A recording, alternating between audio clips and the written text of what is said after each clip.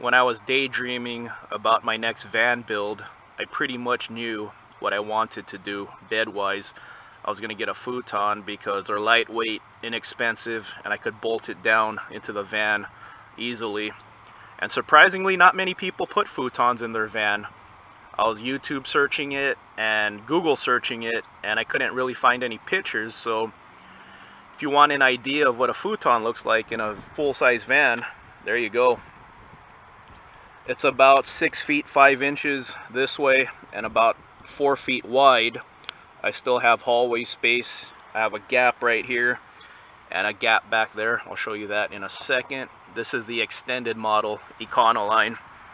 I really wanted the extended model Econoline just for the extra space. If you get a non-extended model, that back window, this this is basically chopped off. This is what's added. This is what makes the extended model the extended model. But I really wanted that extra space. And what I really like about this futon is, of course, it could turn into a sofa, but it also folds up both ways. So it folds up this way.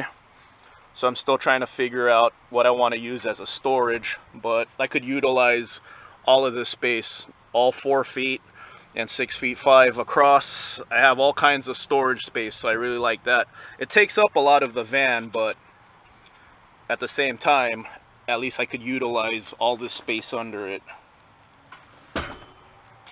Oh, I also put cardboard. I'll do a more thorough review of this futon later, but I put some cardboard under it so that the pads aren't sinking into the bar more and then I just bolted it down with L brackets and then that side just bungeed into the original seat bracket but I also bolted it down with these L brackets. Here's how it looks from the back seat. Plenty of room. So there's a pretty big gap here and up front.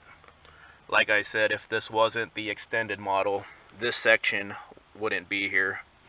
So the bed would take up a lot more of the van, but pretty good the way it is right here. I'm going to mount my table right here, so I'll have a table right here. So I plan this all out in my head. If seats weren't important to you, if you really don't need the seats, you could take this out and you would have all kinds of room back here.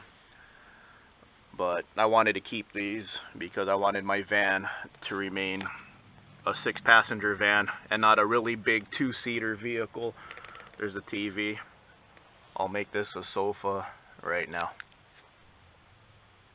Before I turn this into a sofa, I want to mention this. This is resting right on the wheel well, which is perfect because this is only a $130 futon, so I wasn't expecting the highest quality sofa bed. It's good enough.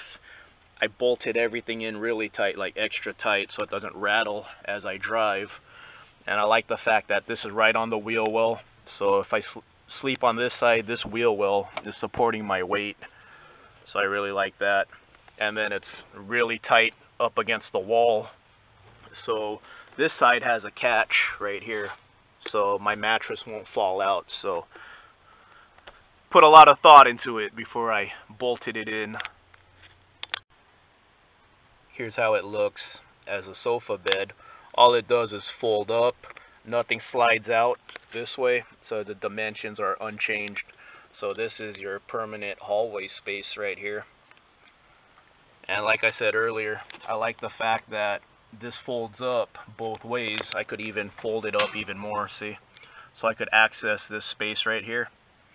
So I'm probably gonna do like four storages maybe even six little ones that way I could hold all kinds of different things. Each storage is going to be for something different. So I like that. So this folds up all the way like that. So it's easy, easily accessed from the back and the front. So all kinds of storage space.